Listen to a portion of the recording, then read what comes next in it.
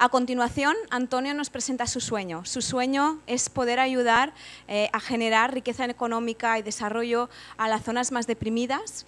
¿Y cómo lo va a hacer? Eso es lo que nos va a explicar y lo hace a través de un concepto, un concepto nuevo, que es el turismo vivencial. Antonio. Gracias. Bueno, eh, como se ha dicho Maite, mi nombre es Antonio Martín, eh, vengo del mundo de la empresa, Llevo, llevaba seis años trabajando en una pequeña multinacional con presencia en varios países y había que hacer un cambio de, rumbo en mi vida y eso vino a través de, una historia familiar. Un viaje a Kenia, donde tuve la posibilidad con mi cuñado, ahí está mi familia, ese, que se ha escondido de mi cuñado, en la zona de Turcana, pues allí estuvimos, me, me, acuerdo cada día de un valle que estábamos y hablando de la posibilidad de traer gente a ese valle, ¿no? Y eso nos, nos motivó mucho y me motivó mucho, ¿no? y había que darle eh, ese valor. ¿no? Lo que hicimos allí en Kenia pues, fue integrarnos en la comunidad local, participar de las costumbres de allí y de alguna forma ayudamos a la economía local.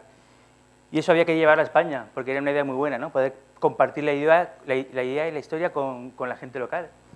Pero había que tener una misión, una clara misión. Nuestra clara misión es participar en incidir en la economía local de cada uno de los municipios donde estamos presentes, turismo responsable, por supuesto, incidir en la cultura y en el patrimonio. Y de ahí nuestro reto. Nuestro reto es consolidar la oferta turística, es decir, incrementar eh, el desempleo, incrementar la, temporalidad, no masificar los destinos, poner en valor la cultura local, la cultura popular y, por supuesto, el patrimonio de cada una de esas comunidades donde estamos presentes. Y de eso, de ahí nos lleva al impacto social. El impacto social en esa gráfica veis que hay seis, cinco territorios que controlan el 70% de, eh, del, del empleo, el 95% de los ingresos que genera el turismo en esos destinos y hay una zona sombreada que es donde queremos impactar, donde queremos trabajar. Y ahí es donde aparece nuestro valor diferencial. Creemos que somos singulares porque estamos en toda la cadena de valor de la actividad turística y ahí identificamos el destino, trabajamos con el inventario de recursos de ese destino, que es donde tenemos que hacer qué, en qué destaca ese, ese municipio, hacemos, creamos el producto, Aquí me acuerdo de estar paseando con, la alcaldesa de San Senso, paseábamos por el mar y yo le pregunté qué hacen estas señoras ahí con el neopreno. Me comentaba que estaban capturando percebes. Dije, para el coche y vamos a hablar con ellas, porque por supuesto eso es una actividad turística y ahí es donde nos referimos cuando creamos el producto turístico. En cada una de las comunidades, en cada uno de los pequeños pueblos de España, hay mucho potencial turístico y ahí es donde queremos incidir, destacando eso. Finalmente, formamos a los empresarios locales y por supuesto también a los ayuntamientos, donde hay que darle una, una mejora en su concepto, y finalmente introducimos en la red de ventas. En el sector, os voy a dar cuatro, cuatro slides del sector. El sector está, el 50% de los viajeros actualmente le gustaría que sus viajes tuviesen impacto, impacto, impacto local. El, el 10% buscan ya hoy en día viajes responsables. La conversión, combatir con la estacionalidad y la concentración de la oferta y las vías de crecimiento son a través de nuevos destinos y nuevos productos, nuevos destinos en cuanto a mercados, emisores. Básicamente cuatro pinceladas. Eh, existe el, blanco, el, libro blanco de los destinos inteligentes, que es una publicación de Segitur, donde habla que hay que meterle tecnología al turismo. Eh, Cataluña es nombrado como el primer destino responsable a nivel de la Organización Mundial del Turismo. Hay que diversificar la oferta y crear nuevos productos y hay que comercializar a través de online y crear las experiencias. Nosotros creemos que somos el referente de las experiencias en cuanto a la vivencia. Vamos un pasito, un pasito más allá. Nuestros anfitriones locales es la clave de nuestro éxito. Son anfitriones, son las personas que a través de su relato llevan al turista para que ese viajero tenga una experiencia memorable y vuelva a su país, a su casa, diciendo he estado con Pedro, he estado con Javier, he estado con Fernando.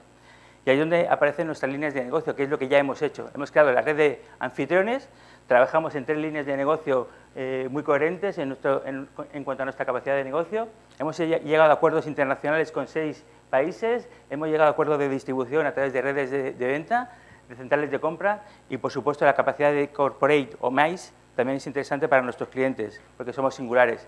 ¿Dónde estamos presentes? Eh, aquí tenemos presencia prácticamente en, en todas las comunidades autónomas y es donde queremos crecer. Todo esto es lo que hemos hecho hasta ahora y ahora ya queremos dar el paso de crecimiento. Nuestro paso de crecimiento lo hemos fundamentado en nuevos países. Acabo de regresar de Rumanía, donde hemos cerrado un acuerdo de distribución con un partner allí en Rumanía. El turismo nacional, a través de esas centrales de compra que os comentaba antes, el tema de empresas y corporate, e ir incrementando nuestra red de distribuidores a nivel de anfitriones. Nuevos destinos, por supuesto, y nuevos productos como el que, os comentaba antes. Y la estrategia online, que es hacia donde queremos seguir construyendo. La estrategia online, básicamente, la hemos trabajado ahora en cuanto a pinceladas también, la inspiración, que es el momento de antes, la estancia y la satisfacción del cliente cuando ya ha tenido la satisfacción de ese viaje. El crecimiento que queremos desarrollar a nivel internacional son estos países donde ya estamos presentes, donde ya hemos estado, ya conocemos los anfitriones locales, ya tenemos un poco la estructura de receptivos para tener esos viajeros. Futuro, la proyección de ventas la hemos desarrollado en coherencia con lo que es hasta donde hemos llegado hasta ahora. Tenemos unas previsiones, como veis ahí, de ir creciendo poco a poco, pero ir sembrando fuerte en, más países, en más destinos, y en esa línea estamos trabajando en lo que sería la, la métrica de impacto local. La inversión que estamos buscando para los próximos 18 meses son cuatro patas, recursos humanos, desarrollo de producto, estrategia digital y marketing. Y esto sería para lo que ya tenemos, consolidar lo que ya tenemos e ir creciendo el proyecto que os comentaba de crecimiento. El plan de financiación, estamos buscando 200.000 euros, que sería una, una, parte de financiación pública de 50.000 euros en cuanto a una ENISA o un Emprendetur, que son líneas dirigidas a turismo, y también financiación privada por 150.000 euros. Por supuesto, el equipo es fundamental. Esas son las cuatro personas que estamos integrando el equipo actualmente. Y algunas pinceladas también de entidades que ya nos han colaborado en, su, en, su, en, su, en nuestro modelo de negocio y que apuestan y que coparticipan con nosotros. Me gustaría presentaros tres fotografías de lo que estamos haciendo para que sean resumiendo lo que ofrecemos. Hemos recuperado la transhumancia en una zona de Salamanca, en Ledesma, hemos recuperado el eh, poder estar con las percebeiras en Bayona, como os comentaba antes, y también levantar el atún en Zara de los Atunes, que son experiencias muy singulares y muy interesantes para quien pueda estar allí y vivirlas. Por último, me gustaría presentaros un vídeo, que al final los testimonios posiblemente dicen más cosas. Es un vídeo casero, pero creo que es interesante.